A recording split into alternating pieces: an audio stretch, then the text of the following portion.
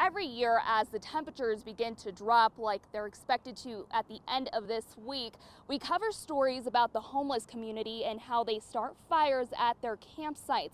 Now, if you take a look over here, you can see just how dry this brush is, and that's why they got a reminder today on how quickly flames can take a dangerous turn. As cooler temperatures hit Colorado Springs, This Sunday, Monday is supposed to be snowing and very cold. people like Anna Espinoza, who find themselves homeless, find ways to keep themselves warm. We have a generator uh, that I that I bought, so we do have uh, electricity.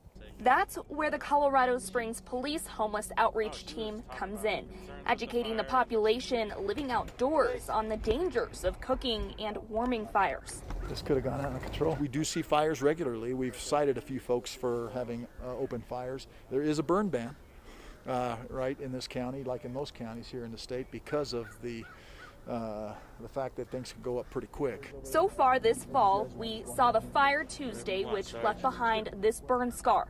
And fire officials say they suspect the Manitou Incline fire a week ago could have started at a nearby homeless camp. Although still unknown what exactly caused the Manitou Incline fire, it burned an acre near the Barr Trail.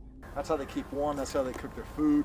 Officers will hand out tickets, but fees are determined by a judge. We don't want this to uh, be a huge, huge fire in this city. I don't think anybody wants that. We're trying to avoid any kind of uh, injury, serious injury, or even death. We don't want uh, any fires to get out of control. He encourages people living outdoors to take shelter inside this time of year. You have the option to go to the rescue mission. They have beds. It is warm there. Now, besides brush, the hot team says they find propane tanks. They also find e-cigarettes. A lot of those things are flammable and can quickly start a wildfire. Reporting in Colorado Springs, Alexis Dominguez, KRDO News Channel 13.